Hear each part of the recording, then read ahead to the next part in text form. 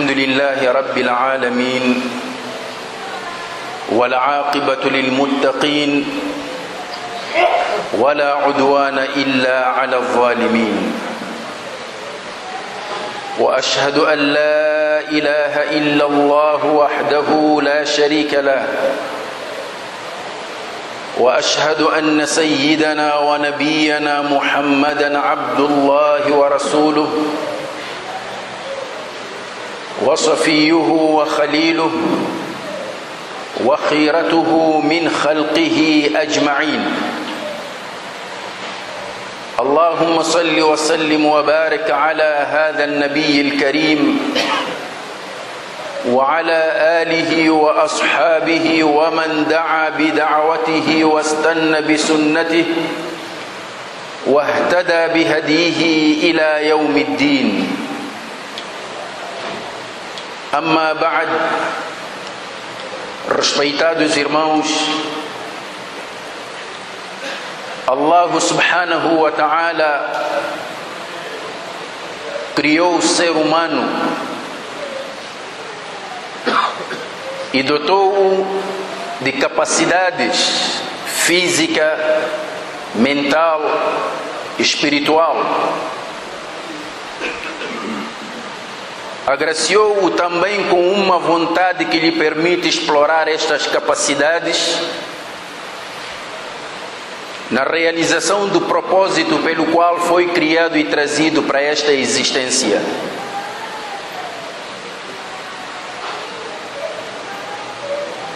Além disso, Allah subhanahu wa ta'ala, através dos seus mensageiros e através dos livros que revelou, definiu um caminho seguro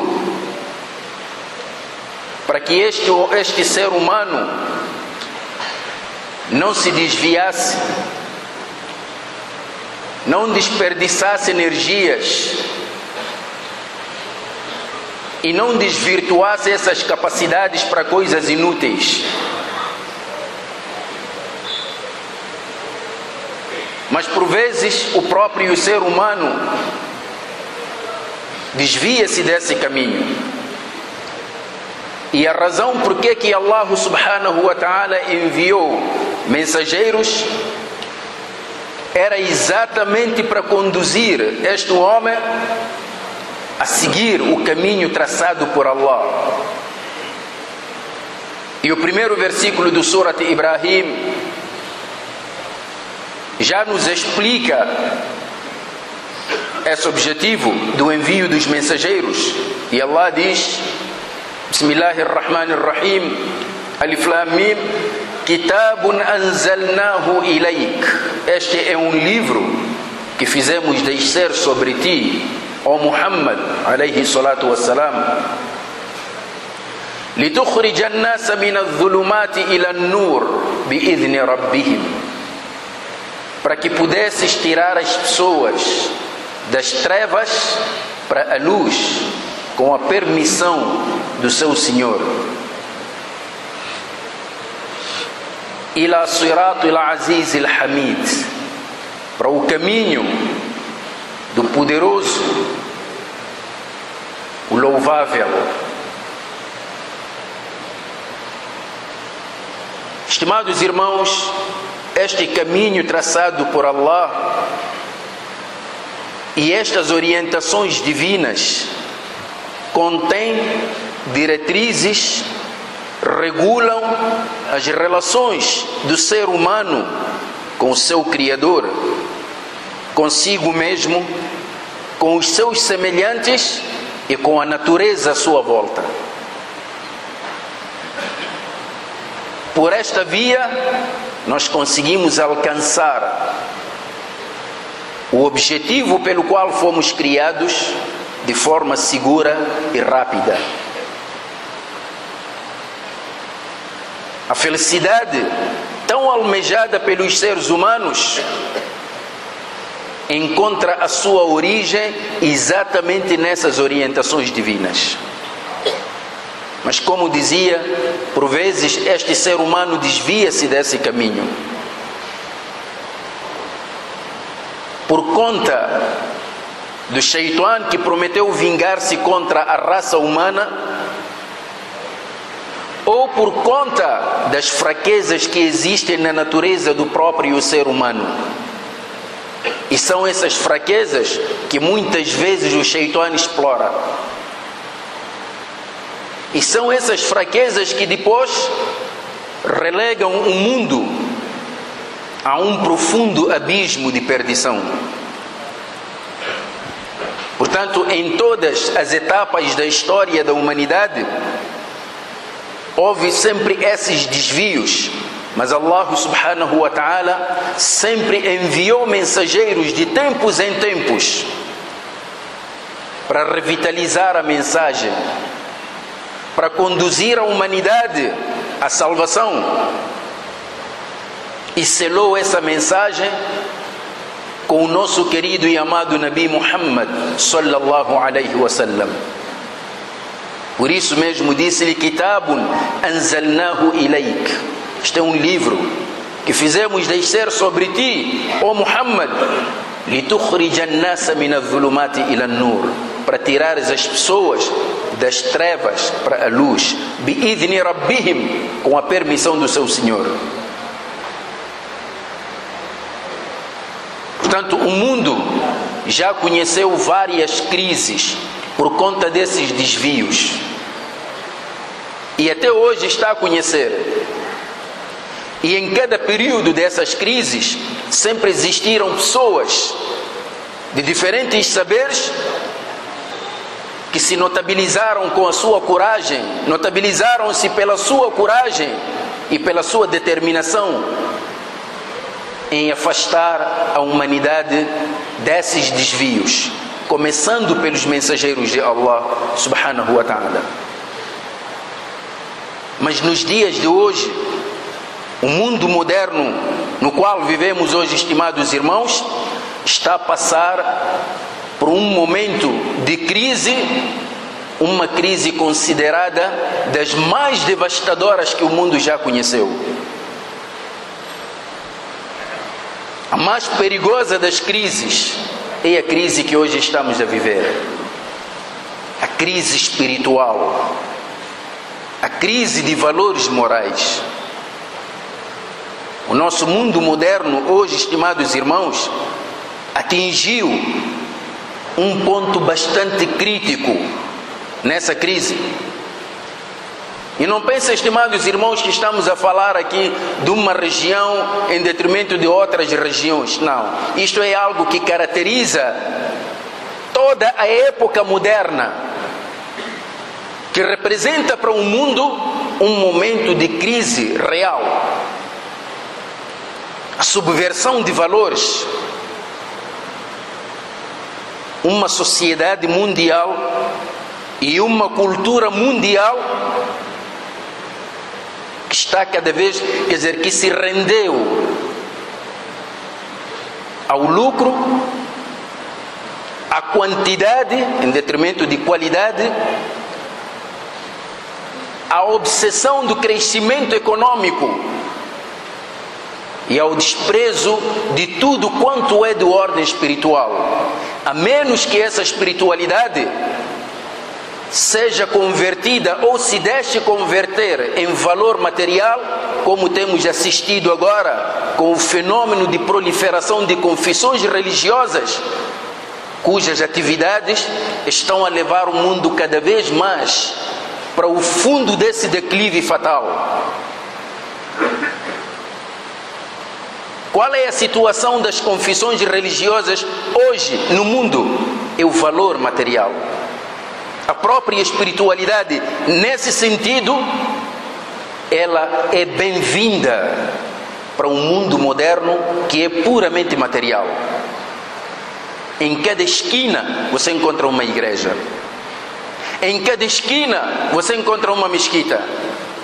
Quando vais procurar o que está por detrás de todas estas casas de culto, vais encontrar que elas representam uma rede gigantesca de angariação de fundos para fins que não têm nada a ver com a religião.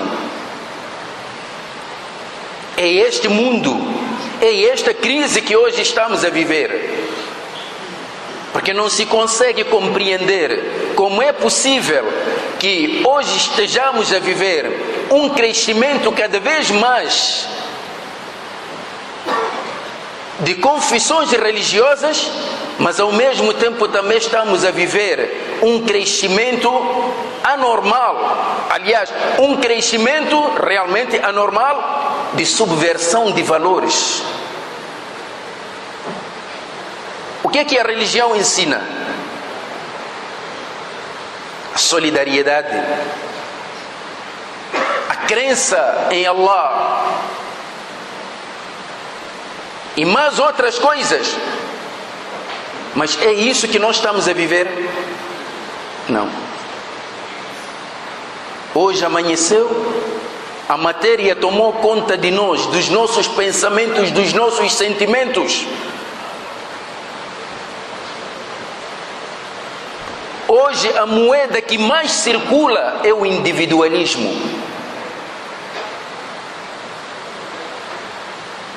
O Nabi sallallahu alaihi wasallam fala-nos que no dia do juízo final há sete pessoas que estarão na sombra do trono de Allah. E naquele dia, a única sombra que existirá será a sombra do trono de Allah. Todos estarão no sol, expostos ao sol, mas sete pessoas estarão debaixo do trono de Allah a desfrutarem dessa sombra. Uma dessas pessoas quem é? Nabi alayhi salatu wassalam diz: "Wa akhfaha hatta la ta'lama shimaluhu ma tunfiqu yaminu." Um homem que dá a sua caridade e ao dar a caridade, dá de forma a que a mão, a mão esquerda não saiba o que a mão direita está a dar. E nós transformamos isto. Hoje, quando damos, temos que anunciar no Facebook, no WhatsApp, tudo que nós fazemos. Afinal, fazemos para agradar Allah ou queremos mostrar ao mundo que nós somos nós e podemos? Infelizmente, até muçulmanos fazem isso. Cada um está preocupado em publicitar o que faz. Então, onde é que colocamos este hadith? A subversão de valores. Quando vamos para as famílias, é um conjunto de problemas sem fim. Vamos nas nossas próprias comunidades, as divisões gritantes entre nós que separam entre irmãos da mesma fé. Aparentemente trabalhamos em prol do din, mas no fundo alimentamos cada vez mais o nosso ego, o nosso egocentrismo, a nossa ganância. O amor pelo poder, o amor pela riqueza, por esta razão, estimados irmãos, o Nabi sallallahu alaihi wasallam chama a nossa atenção de que no vosso seio existe algo pior que a pobreza. Qual é? Num hadith, o Nabi alaihi salatu wassalamu diz: Wallahi mal faqra akhsha alaikum. Juro por Allah que eu não temo por vós a pobreza. Não é isto que me preocupa, que vocês sejam pobres. Não estou preocupado com isso. Wallahi mal faqra akhsha. Walakin akhsha antubsata alaikum dunya. O que eu temo é que Allah abra as portas do dunya, a riqueza se torne abundante. O que é que vai acontecer quando, quando isso ocorrer? O que é que vai acontecer? Walakinni akhsha an tubsata alaykum ad-dunya. Eu temo porque Allah estenderá o dunya para vós os bens materiais para vós fatanafasuha kama busitat ala man kana da mesma forma que a terra foi estendida para os vossos antepassados fatanafasuha então vocês farão concorrência atrás desse dunya. Kama tanafasuha, tal como os vossos antepassados também fizeram. Estimados irmãos, peguem nessas palavras do Nabi e espelhem a nossa vida hoje em função desse hadith. Fatanafasuha, kama tanafasuha. Hoje dunya, estimados irmãos, a humanidade moderna, o mundo moderno hoje atingiu patamares que não eram nem sequer imaginados no passado. O avanço científico, a tecnologia, o crescimento da economia global, todo lado. O ser humano jamais atingiu prosperidade como atingiu neste, nesta época. Mas, em contrapartida, estimados irmãos, o ser humano nunca se transformou num escravo miserável da própria riqueza que ele gera, tal como este tempo. O ser humano hoje é instrumento. Até já há redes de rapto de seres humanos para extrair seus órgãos. Hoje tudo tem valor menos o sangue humano. Fatanafasuha kama tanafasuha fatuhlikakum kama ahlakatuhum. E aí esses bens vos destruirão como destruíram os vossos antepassados. A destruição aqui, estimados irmãos, não é uma catástrofe que Allah subhanahu wa ta'ala manda do céu e as pessoas morrem. É a morte dos corações. A morte do amor nos corações. A morte da bondade, da ternura, do carinho, da compaixão. E isso nos dias de hoje já morreu. Quando há um acidente, a primeira preocupação, os primeiros socorros que as pessoas prestam quando alguém so, sofre um acidente é de tirar fotos e mandar no WhatsApp em vez de socorrer. Não há humildade. Até o mais pobre hoje quer ter uma vida de lorde. À custa dos valores morais que passa por cima delas passa por cima desses valores. Estimados irmãos, tudo isto indica apenas uma coisa: um vazio espiritual que nós estamos a viver. As almas modernas são almas mortas, não há vida.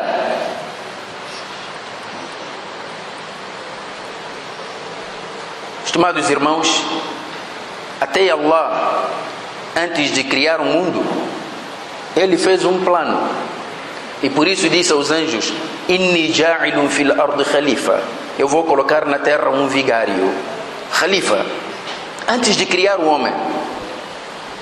O que significa que cada um de nós tem que ter um objetivo na vida.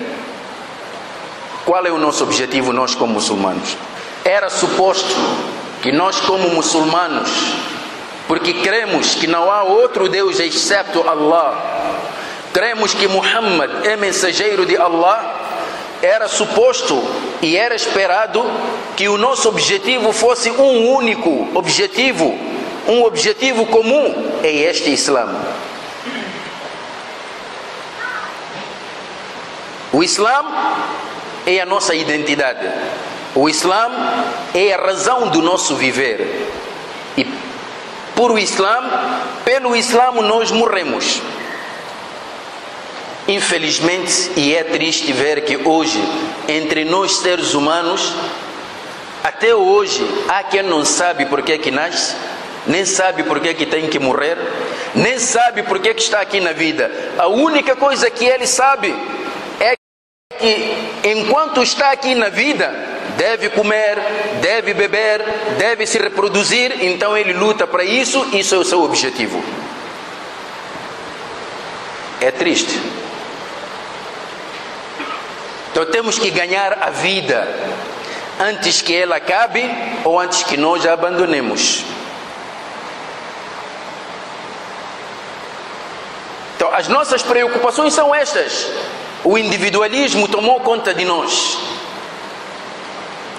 Cada um só pensa nos seus interesses. Amanheceu, o programa é só acumular cada vez mais bens materiais. É por essa razão que nós respeitamos as pessoas porque têm. Quando não têm, já não merecem o nosso respeito. Onde é que vamos parar com tudo isso, estimados irmãos? O Coran que salvou a humanidade no passado ainda temos. O Sunnat do Nabi alayhi salatu wassalam que resgatou as pessoas das trevas no passado ainda temos. O que é que nos falta? Estamos à espera que Allah nos envie um outro mensageiro? Isso não vai acontecer. Porque o Nabi Muhammad alayhi salatu wassalam selou a profecia. Estamos à espera de um outro livro? Também isso não vai acontecer. O Coran é o último dos livros. De que estamos à espera, estimados irmãos? Todos os dias nós saímos, vamos fazer nosso ibada, fazemos nossos salates. Agora estamos a nos preparar já para Ramadã, que já está aí já na porta. Mas estes ibadas todos que nós praticamos, o que é que mudam em termos de comportamento, em termos de vida? O que é que mudam? Todos os anos temos estado a explicar como é que se deve preparar para o Ramadã. Mas até hoje, parece que temos corações de pedra, parece que temos mentes de pedra. Não há nenhuma palavra que amolece os nossos corações. Como é que se prepara uma pessoa para receber Ramadã? Como é que o Nabi wasalam se preparava? Preparavam-se com arrependimento, preparavam-se com a purificação espiritual, preparavam-se fazendo plano neste Ramadã. Tenho que recitar o Coran, tenho que fazer mais ibada, salat e tudo mais. Nós hoje em dia preparamos Ramadã passeando nos armazéns para encher as dispensas. Se você não tem badia este mês, então seu jejum parece que não vai valer. Quando explicamos isto, recebemos uma resposta: Sheikh, afinal é proibido uma pessoa fazer chamuça no Ramadã? Quer dizer, não percebeu a mensagem. Meu irmão, o Islã não te proíbe comer tudo isso. Mas isso não deve ser o objetivo do jejum. Não deve ser o objetivo do jejum, estimados irmãos. Nós todos os dias, a nossa maneira de preparar Ramadã é isso. Significa isto o quê? Que a nossa espiritualidade morreu. Sempre pensamos nas coisas de ordem material, sempre pensamos na satisfação única das nossas necessidades físicas.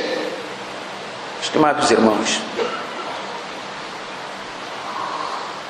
o mês de Ramadã é uma escola.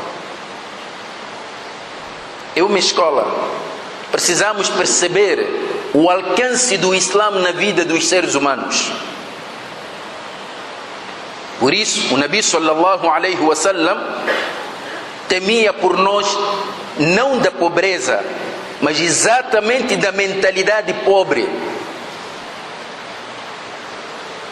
Uma coisa é você não ter nada no bolso, outra coisa é não ter nada na mente. Ou ter um sentimento morto ou frio em relação à própria vida, em relação à própria crença. Então, a pobreza que o Nabi sallallahu alaihi wasallam temia por nós era a pobreza mental e a pobreza espiritual. Hoje cada um quer ter até aquilo de que não precisa. Porque o mundo moderno hoje cria, fabrica necessidades. É por isso que a sociedade mundial é uma sociedade consumista e não produtora. Nós só consumimos. E aí, os valores morais de que o Islã nos ensina só tem valor quando, quando nos garantem algum benefício material.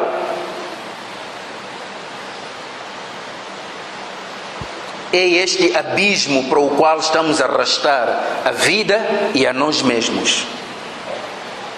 E é importante que falemos destas coisas. Até dentro das nossas famílias, o Islã já não tem valor. Às vezes acontece, alguns muçulmanos nos perguntam, Sheikh, eu sei que bebida é haram, mas eu tenho um casamento, um familiar, ou fui convidado a um casamento de um familiar, e porque ali também tem convidados não muçulmanos, então tem lá bebidas alcoólicas, mas porque nós somos muçulmanos, então criamos um espaço lá no canto e é lá onde deixamos as bebidas. Então, e nós avisamos: quem quiser beber, que vá lá no fundo, não aqui. E este irmão pensa que já resolveu o problema. A festa é dele, ele é que criou essas condições, o espaço ele é que alugou com seu dinheiro, incluindo aquele espaço reservado para bêbados. Ele é que faz tudo. Pensa que colocando lá no canto já saiu do haram. E aí perguntamos, irmão, antes de falarmos de colocar as bebidas no canto, porque aqui proíbe, não sei o que, tudo isso, antes de falarmos disso, qual é o teu objetivo na vida? Qual é a sua identidade? Falamos de todas estas coisas e as pessoas dizem que estes moulanas não facilitam. Mas eu vou te facilitar o quê? Dizer que é halal? Hoje criamos um hábito. As próprias relações hoje são virtuais. Já não há convívios familiares. São relações virtuais. A pessoa tem milhões de amigos, mas no telefone, não assim fisicamente. E todos os nossos problemas também resolvemos lá. Nunca perguntamos o que é que o Islã nos ensina sobre essas coisas. Então, para dizer que o nosso mundo hoje está a viver uma verdadeira crise. A pior crise não é crise financeira, não. A pior crise é esta crise espiritual, onde tudo é transformado em matéria, incluindo a própria espiritualidade. A religião hoje já não é para orientar as pessoas. A religião hoje é só chamada para vir abençoar abertura de um empreendimento ou encerramento de um convívio, porque há ali a, a inauguração de, de, alguma coisa, então vamos lá, queremos um doar para lá poder abençoar. Em termos de comportamento, a religião não fica do seu lado.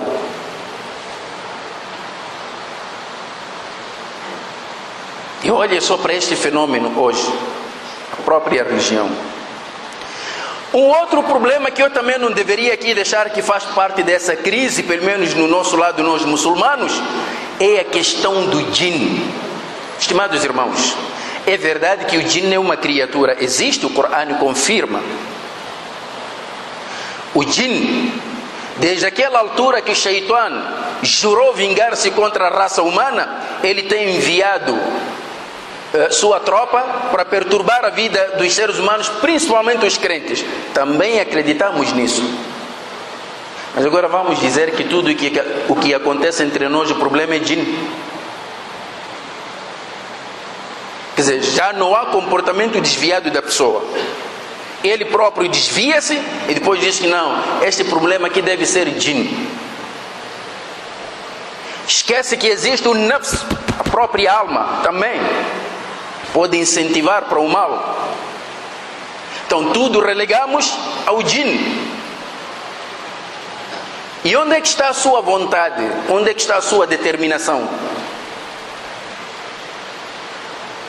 É por essa razão, estimados irmãos, hoje, já no meio de poucos que tentam ajudar os seus irmãos, seguindo a linha correta que o Islã traçou para resolver esses problemas, há muitos charlatões.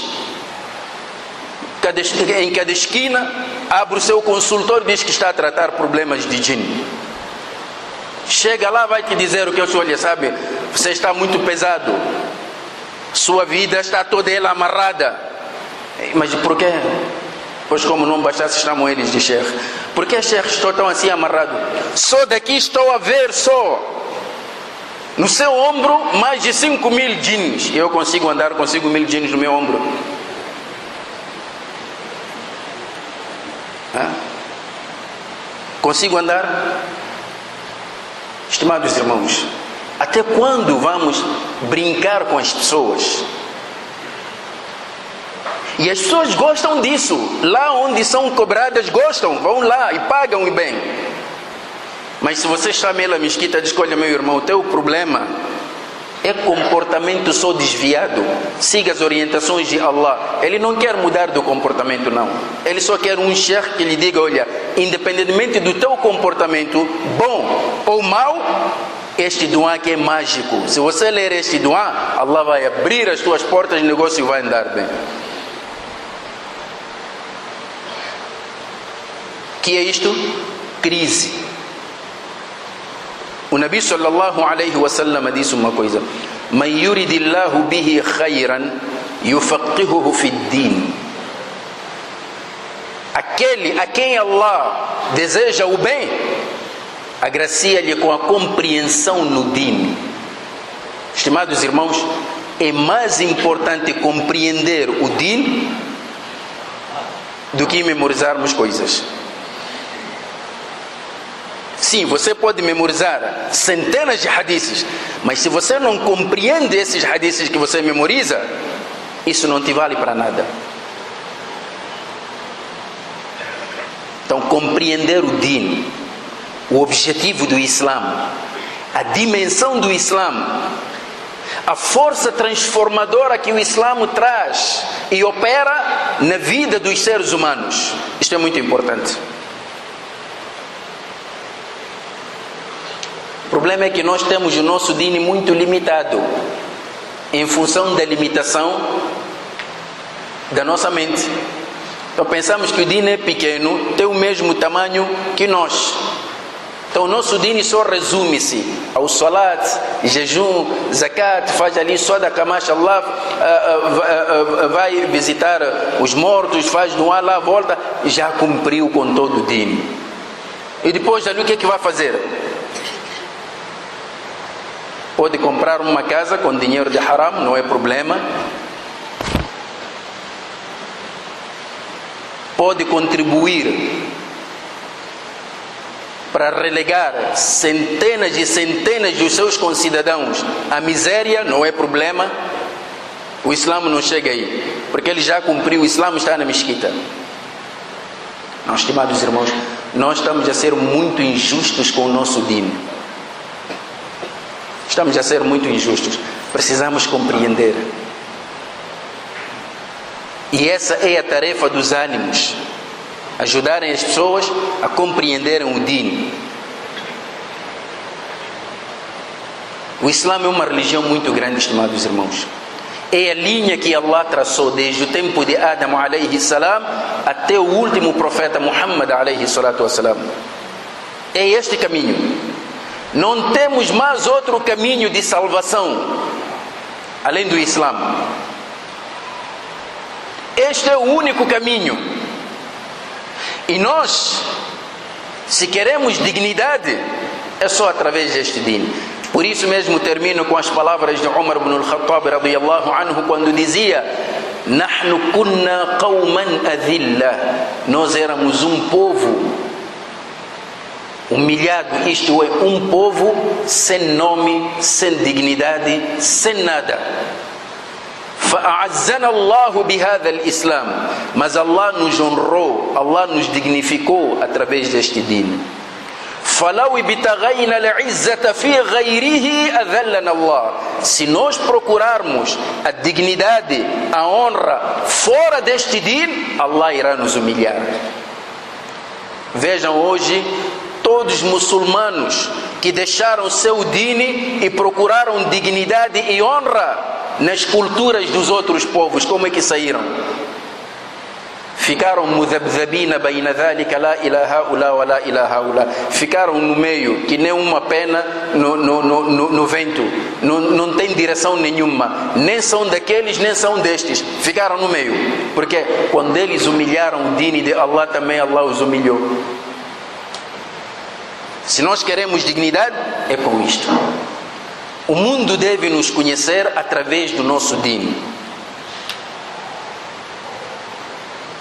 Por isso mesmo Ali ibn Abi Talib radiyallahu anhu aconselhava أعرف الرجال بالحق ولا تعرف الحق بالرجال Conheça as pessoas através da verdade e não conheça a verdade através das pessoas.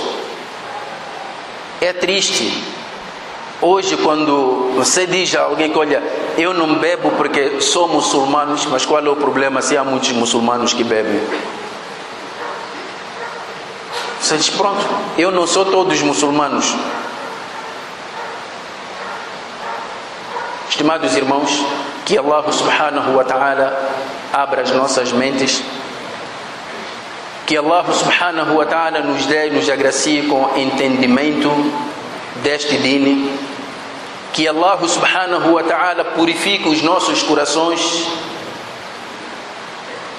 que Allah não faça da nossa espiritualidade uma moeda falsa que engana as pessoas. أقول قولي هذا وأستغفر الله لي ولكم فاستغفروه إنه هو الغفور الرحيم